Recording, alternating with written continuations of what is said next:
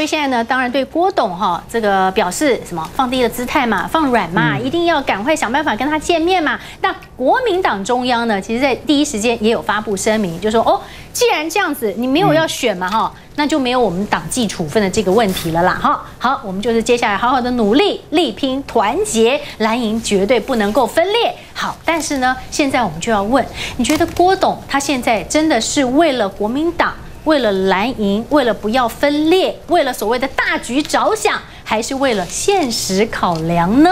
哎，其实这个周刊的报道哈，还真的是内藏玄机。对，今天很多个周刊好像都有透露出一些内幕，说九一六昨天郭董没有公开行程，但郭董很忙，忙什么呢？你看哦，昨天的时候中午的时候，周刊报道说柯文哲上午十点接到郭台铭的这个通知啊，说希望能够见上一面，所以柯文哲还特地的。不搭公务车，换车，秘密的来跟郭台铭会面，会面了近一个小时。嗯，而且呢，这个柯文哲还说啊，你还是选了，我还帮你想个口号，叫做台湾重开机。那据说郭台铭还是问了柯文哲，那你要不要当我的副手？据据说是没有谈拢了，所以柯文哲好像也了解，好像郭台铭的心意是有点松动了。那到了晚上呢，也是媒体报道说。郝龙斌其实跟郭台铭一共见了很多次面，八月二号到九月十六号见了六次面。那昨天晚上呢，是在媒体人赵少康，这也是郭台铭口中的人生导师、政治导师的家中哦。哎，三个人会面了。本来就是传说他要当竞选总干事。对，然后他不是录了一个影片说啊没有，但是他是我的政治导师、人生导师。那加上郝龙斌，结果三个人聊了两个小时。是，听说郝龙斌还搬出了自己的父亲郝柏村，就是说我们共同就是要来反毒嘛，所以说希望你郭。台铭还是为了中华民国好，所以可不可以来宣布不要来选呢？是。那我们现在来问一下淑慧哦，这个因为这样好富这个穿梭说有六次，而且昨天晚上有这样恳谈，周刊报道说是一个关键，对他关键人物吗？我今天早上也有特别去。跟好父请教这整个过程哈，其中有几点我要澄清的。现在外界有媒体有很多小剧本啊，其实都不完全正确，而且这些小剧本其实里面有对很多对郭台铭董事长可能不尽公平啊，不尽公平。那其中就第一个。他的他决定不参选的原因到底是什么？我可以跟大家保证哈，绝对没有什么劝退或劝劝进。就像他那个永林基金会的刘永彤今天早上接受访问也说啊，没有人有这么大的影响力啦。哦，包括说郝龙斌副主席，他们是朋友，他们是朋友，在这个六次过程里面，郭台铭董事长他对于初选的过程他有委屈，到最后他有天人交战，他到底要怎么样做才是对中华民国最好的？所以他有天人交。在，他会需要有一个朋友讲。可是这个朋友绝对不是每次看到他都是你不要选，你不要选，你不要选，那样叫就不叫朋友哦。所以在这个过程里面，郝龙斌副主席没有所谓的劝退，郭台铭也不是因为被谁劝进或劝退。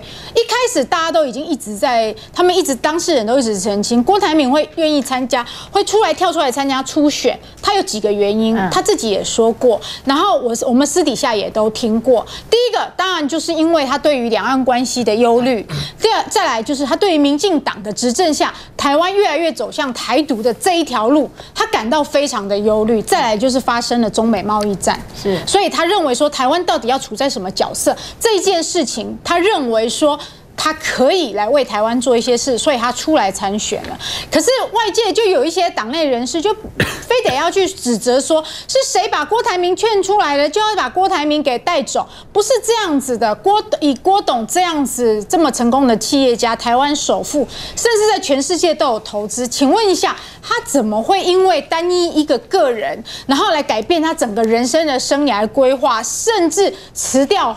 红海的董事长这一个职务，然后来投入政治，所以今天我要再次的去强调，没有他没有接受谁的劝进，也没有接受谁的劝退。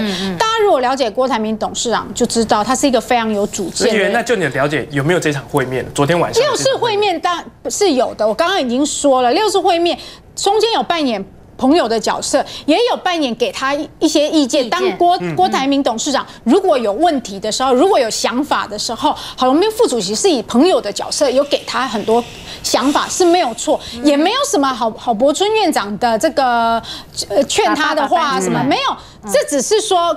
过去郝柏村院长跟郭台铭董事长其实是忘年之交，因为他们两位在捍卫中华民国跟反对台独的这件事的立场是一致的。可是，在这昨天的会面里面其实没有这一段啊。昨天的会面其实前面郝龙斌副主席的行程是参加听奥十周年的晚宴，后来他提前走了，呃，就是去赴郭台铭董事长的约。那也像郝龙斌是在赵少康家吗？呃，对对对，昨天晚上是在赵先生的家里。那也像今天郝副主席也有说，其实大概在礼拜天的时候，郭董事长已经有一个初步的决定了，只是说他还没有对外宣布。那他是昨天晚上找了郝富跟赵少康的理由是很单纯的，就是我有决定了，我想先让我的朋友知道。哦，所以昨天并不是说这两位在昨天把他劝进劝退成功，不是，而是颠倒过来是。郭董事长他已经有所决定了，所以是周日的时候就已经大概心有定见。其实今天早上那个刘幼彤在接受专访的时候，其实他也有点到，他说中秋节前。郭董事长就跟他们同仁说：“大家好好的轻松去度个假。”是，所以你现在看起来，其实郭董事长心里面是是是有已经有一些他的考量跟他的副案了。那至于说柯文哲好了，更没有什么呃，他还要找柯文哲去配，柯文哲不要，所以郭郭董事长最后不选。没有，其实昨天应该只是。郭董事长告知柯文哲而已，因为他毕竟觉得说，我们之前大家是有谈过的，也有讨论过说，哎，是不是有合作的可能？我现在已经有了决定，我告知，我提前告诉告诉你，所以没有什么啊，他找了柯文哲，柯文然后谈说要不要合作或什么的。那今天大家看到柯文哲的反应也是一样啊，他也是相当的觉得说，他也很 shock，他很 shock，对，他是他觉得说他自己完全什么都来不及了。不过我觉得哈，今天是这样，对国民党。来说，郭董事长他决定不选，那对国民党说是止住分裂，嗯，是止住分裂。可是止住分裂不代表国民党就会胜选。接下来要如何让更多支持的力量加入？真的就是我们候选人韩国瑜要去努力的，当然我们也会跟他一起去努力。可是刚刚有志哥说，哎，现在是黄金期，要打铁趁热。其实我不是这样这么想，我其实觉得现在叫冷却期，应该要让大家都先好好的想一想，包括韩市长在内，他今天虽然已经表态了，但是问题是，他要跟郭董事长如果会面，要谈些什么呢？希望说有哪些政策是可以一起合作的，是不是也同样要给韩市长？时间去去想这些事情，所以我觉得大家不要就直接谈零到六岁国家。我觉得 对，当然如果可以谈这个郭董最在意的证件，当然是最好了。不过我觉得很多事情不一定要在台面上大张旗鼓的去做，很多整合的工作，或者是和好的工作，或者是修补的工作，其实本来大家在台面下都在帮忙，而且都在持续。嗯嗯哼，好啦。当然，这个淑慧刚刚讲的这个部分啊，我们今天也有听到这个幕僚的确是这样说的啦。幕僚怎么讲？幕僚就说：是啦，其实哈，郭董也不是说，哎，你想叫他怎么样，他就会怎么样的人呐。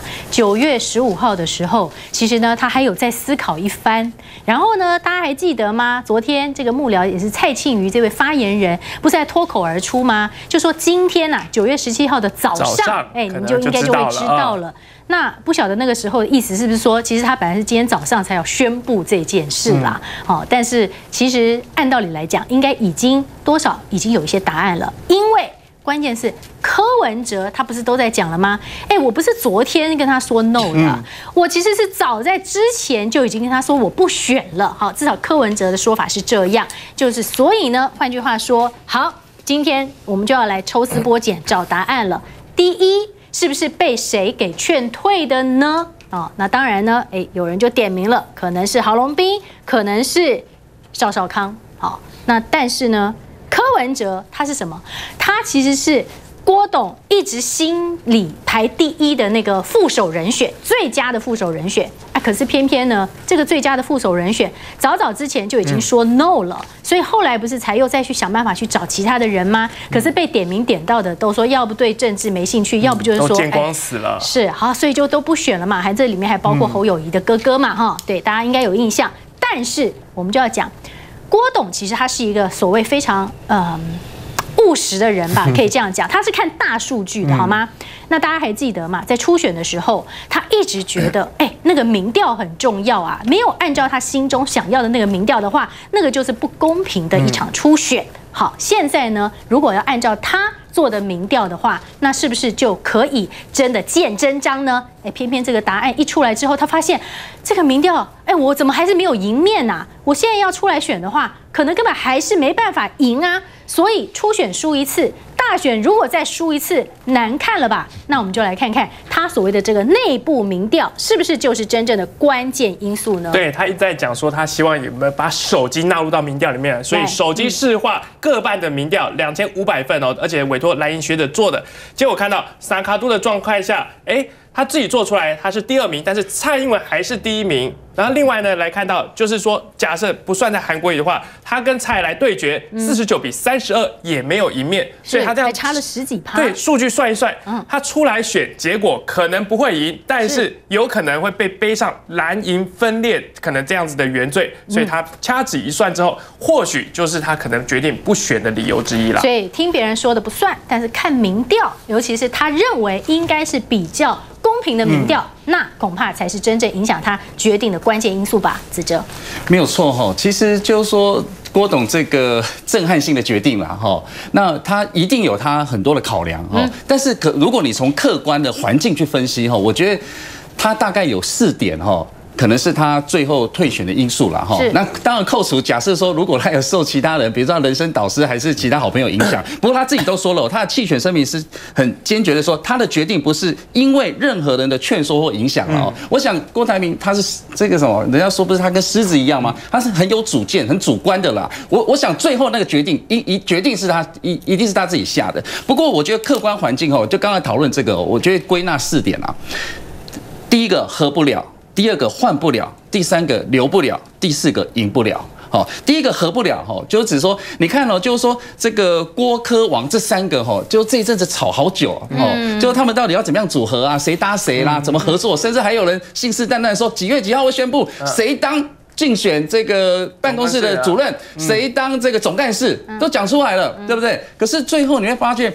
如果说坦白讲，如果说他，比如说郭台铭跟这个王院长搭，那个民调上看起来是没有起色的哦。那比如说他跟柯文哲搭哦，那柯文哲坦白讲，他的这个风言风语大家也见识到了。那未来他所做的一切，难道郭董都要盖锅承受吗？这样？搭会加分吗？对不对？所以你看，后来连柯文自己都说了，他自己不愿意搭这个副总统嘛，他也想选总统。包含王金也自己说，他想要选正的。所以说，这三方的合作，你会发现一直都充满着波折跟困难。所以我说，第一个合不了，合不了；第三，第二个换不了。就是说，当然，很外界有一些人期待什么，要换鱼哦，就不过，即便是韩国瑜通过国民党的这个初选机制，通过了，成为正式被提名人了，再三的确认，都还有一些换鱼的声音出来。对，可是你会发现，这即便到到上上周，对不对？包含三十一位大佬，对，在共同的联署联署声明，对啊，都挺嘛。所以说，韩国瑜的正当性是存在的。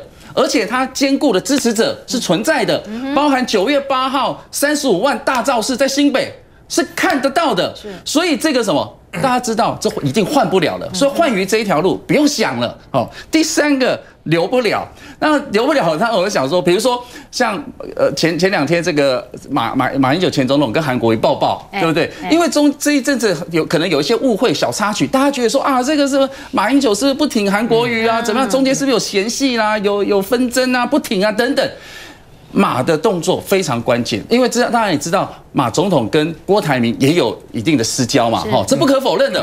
可是我我想，郭台铭假设要选，他心里当然是希望说，这个马前总统可以力挺他，支持他。嗯。可是当马总统不管是在那个登报的声明里面签名，或者是他跟韩国瑜抱抱，嗯，好一报名没有恩仇啦，一报名误会。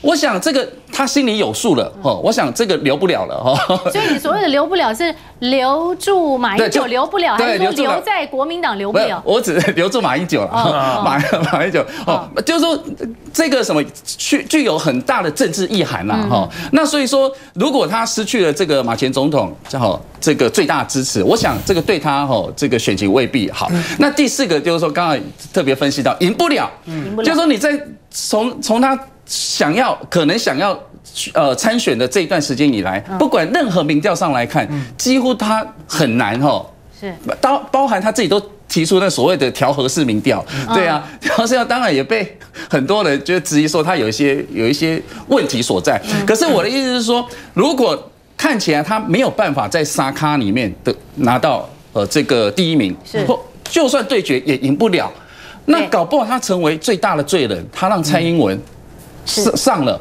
那没正当性，对，要出来怎么选？对，没有错。所以这个就是说赢不了这件事情，对他恐怕也是很关键性的影响了哈。我我坦白讲，政治是现实。假设现在民调一搬出来，他就是第一名，我想谁也挡不住他。对啊，那所以说我我刚刚讲的这四个因素哈，也许是他最后关键的这个考量了哈。不过当然我我在这里我要讲哈，其实我我一直都没有对这个郭董事长有很大的什么批判了哈。那我意思说。